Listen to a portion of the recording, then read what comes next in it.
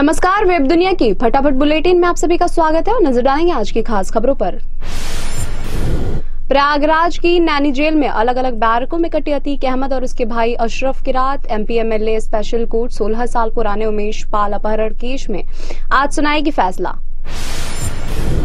भगौड़े, कट्टरपंथी, अलगाववादी अमृतपाल सिंह को लेकर नेपाल में हाई अलर्ट निगरानी सूची में डाला गया अमृतपाल का नाम। भागने से रोकने के लिए भारत सरकार के अनुरोध पर नेपाल सरकार ने लिया एक्शन ऐसा माना जा रहा है कि अमृतपाल नेपाल में छिपा है। भारत में कोरोना वायरस के नए स्वरूप के एक्स बीबी वन के 610 नए मामले, ये सभी मामले 11 राज्यों और केंद्र शासित प्रदेश में पाए गए। देश में संक्रमण के मामलों में हालिया वृद्धि के लिए कोरोना के इसी नए स्वरूप को जिम्मेदार माना जा रहा है।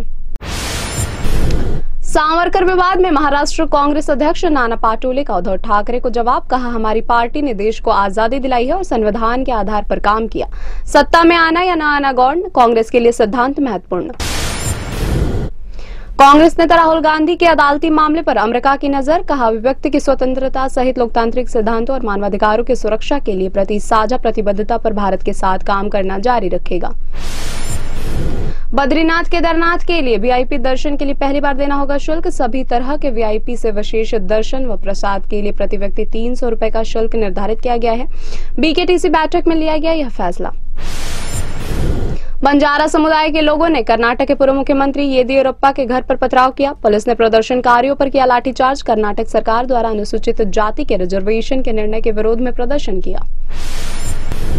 नवसारी की एक अदालत ने कांग्रेस विधायक अनंत पटेल पर लगाया निन्यानवे रुपए का जुर्माना। पटेल पर 2017 में छात्रों के विरोध के दौरान प्रधानमंत्री नरेंद्र मोदी की तस्वीर फाड़ने का आरोप। कैग रिपोर्ट में खुलासा वित्तीय सेवा विभाग ने सार्वजनिक क्षेत्र के बैंकों में पूंजी डालने की पहल के तहत वित्त वर्ष 2017-18 में एसबीआई को 8,800 करोड़ रुपए दिए थे। हालाँकि देश के सबसे बड़े बैंक ने इस राशि की मांग नहीं की थी।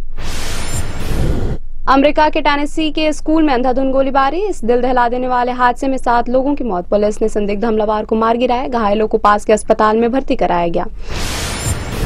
ये थे आज के फटाफट बुलेटिन और ऐसे ही ताज़ा अपडेट के लिए बने रहे हमारे साथ, यानी कि विज़िट करें दुनिया पर।